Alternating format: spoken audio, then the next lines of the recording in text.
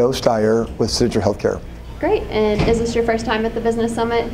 No, I've been a long-term chamber supporter. I've been a board member about the last four or five years.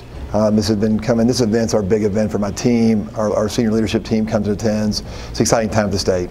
Great. And uh, what keeps you coming back every year to the Business Summit? You know, we're a statewide employer um, throughout Kentucky, so I think the, the learning we have about the state's diversity and what's going on in the state across the whole state and the Commonwealth.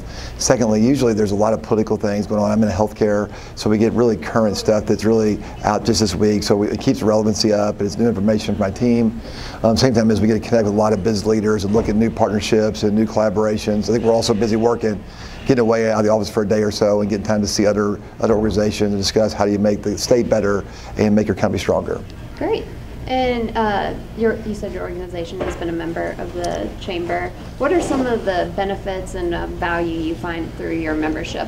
Well, I grew up in Kentucky, been um, moved out of Kentucky for a long time. Probably the most. This is one of the best chambers for engagement. So in general, we've been we've been an active member, been a board person, but really it's been the regional events. Our chamber goes across the state, so we're not just in, in Frankfort. Where every meeting's a different part of the state, so you learn, you connect, and usually our, our subcommittees have great educational topics. So we're always bringing the best speakers in. If it's healthcare reform, taxes. Yesterday we heard about you know our, our complicated tax models that I think people think are easy changes. They're really complicated changes. So the education, information I think, as a, as a citizen or a business advocate is really powerful. So I think the way they break up their committees, how they deliver education and engagement is fantastic. Great. And if somebody was considering joining uh, the chamber, what, what would you tell them?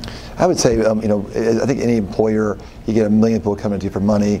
This is probably the first check I write. Um, I think the returns have been fantastic for us. I think everybody's got a lot of different things, but I think if Kentucky is going to become a model state, which we all dream of, I think we got to unify together. So I think it's probably the first check I would write.